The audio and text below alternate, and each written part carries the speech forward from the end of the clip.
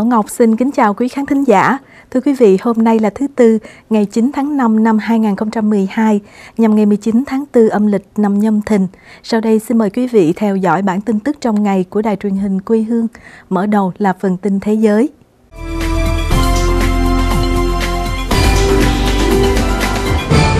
Bồ Đào Nha bỏ 4 ngày nghỉ lễ để kích thích kinh tế tin từ Barcelona. Chính phủ Bồ Đào Nha loan báo bỏ 4 ngày nghỉ lễ để kích thích kinh tế, nhưng chỉ sau khi thương lượng với Vatican. Thông cáo của chính phủ xác nhận từ năm tới sẽ không cho công nhân viên nghỉ ngày Corpus Christi và lễ các thánh. Hai ngày nghỉ lễ khác không có yếu tố tôn giáo. Chính phủ Trung Hữu cảm ơn Tòa Thánh và Hội đồng Giám mục về kết quả thương lượng tích cực Bồ Đào Nha và Vatican sẽ lượng giá lại sau 5 năm. Bộ trưởng Kinh tế Hugo Soares từ chối giải thích vì sao giảm ngày nghỉ là lợi cho kinh tế, đối lập không trả lời yêu cầu bình luận của nhà báo.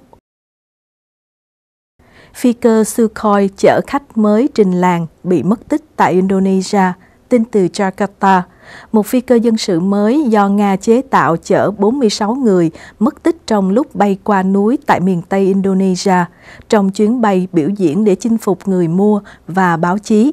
Chiếc Sukhoi Superjet 100 cất cánh từ phi trường quốc tế Halim Perdana Kusuma của thủ đô Jakarta lúc 2 giờ 21 phút chiều thứ Tư đã biến mất trên màn ảnh radar 12 phút sau.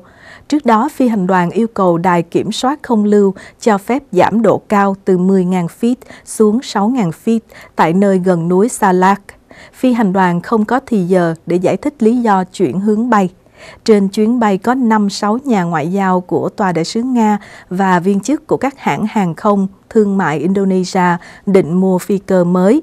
Lực lượng tìm cứu đang tiến đến vùng núi, nhưng vì thời tiết xấu, ít nhất hai trực thăng đã bay lui.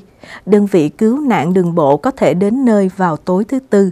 Nga hy vọng phi cơ Sukhoi là thiết kế hoàn toàn mới sau kỷ nguyên Xô Viết, có thể cạnh tranh trên thị trường quốc tế hiện do Boeing và Airbus chiếm lĩnh. Chiếc Sukhoi mới đến Indonesia là chặng thứ tư trong chương trình giới thiệu sản phẩm gọi là Welcome Asia, dự định đến Lào và Việt Nam sau Indonesia. Toyota báo cáo doanh lợi tam cá nguyệt thứ nhất tăng gấp 4.